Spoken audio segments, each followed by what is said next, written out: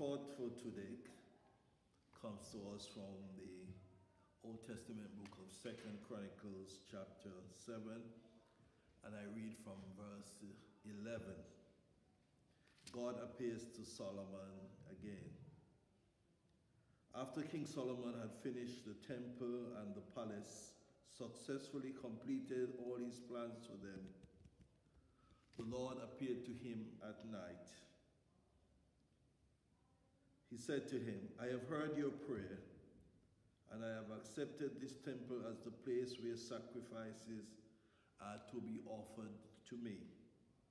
Whenever I hold back the rain or send locusts to eat up the crops or send an epidemic on my people, if they pray to me and repent and turn away from the evil they have been doing, I will hear them in heaven, forgive their sins, and make their land prosperous again.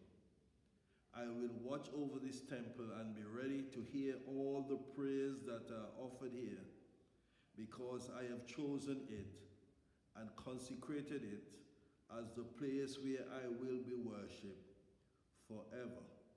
I will watch over it and protect it for all time.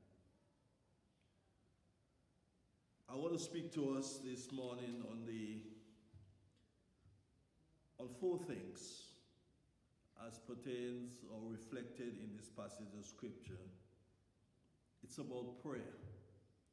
The requirement for prayer, the need for prayer, the importance of prayer, and the benefits of prayer.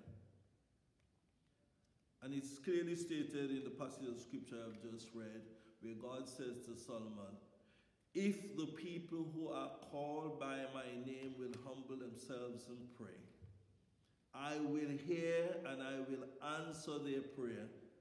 Even when I stop the crops from bearing, even when I send an epidemic upon them, if they pray, I will hear their prayer and answer their prayer.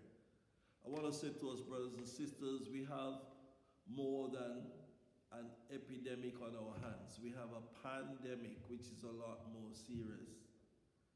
And if you're anything like me, there are times when in this situation we can feel helpless.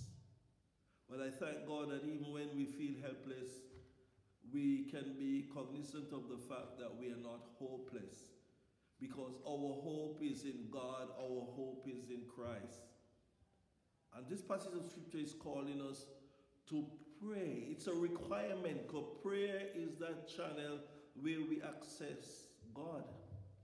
So there's a requirement to pray and the need to pray because we're in a situation where we cannot help ourselves except following the advice that has been given to us. And my brothers and sisters, we have to come to that point when we realize our dependency upon God.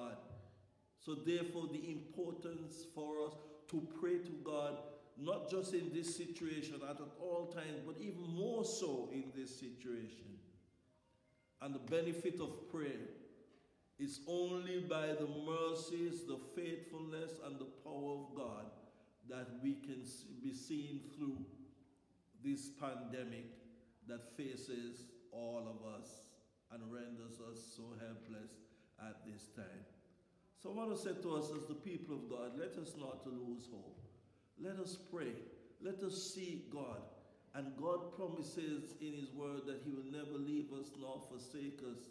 And God promises us that if we pray, he will hear our prayer if we just humble ourselves before his throne of grace.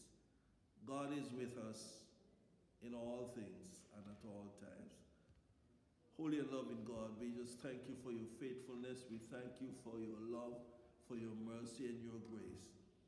Father God, we thank you that you're God who's not just with us in the good times, but also through the difficult stages and times of life.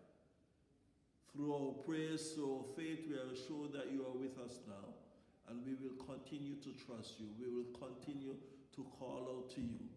Our hope, our present, and our future depends upon you. In Jesus' name we pray.